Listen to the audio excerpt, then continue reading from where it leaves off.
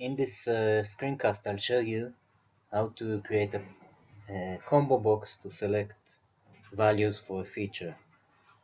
I have here the digitized road layer. It still doesn't have any features in it, it's empty. And I want one of the features to be the type of road. Let's say I have the wide roads and the narrow roads and I want to define it I want to the value to be numeric, but I want people to know which one is narrow and which one is wide. So if I go to properties,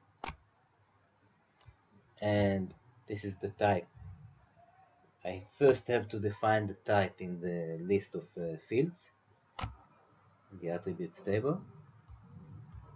I push here on the type, the line edits, edit widget, okay, and I want to have a value map let's say value of mine 1 means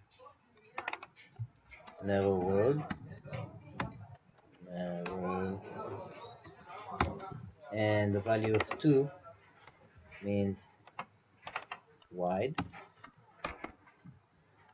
And I apply it if I then start editing this uh, layer and let's say I digitize or I create uh, new features of the wide road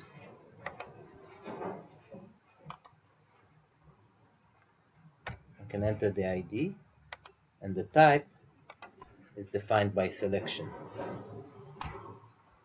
Don't forget to save your layer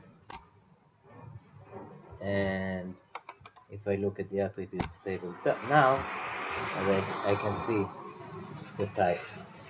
And uh, that's it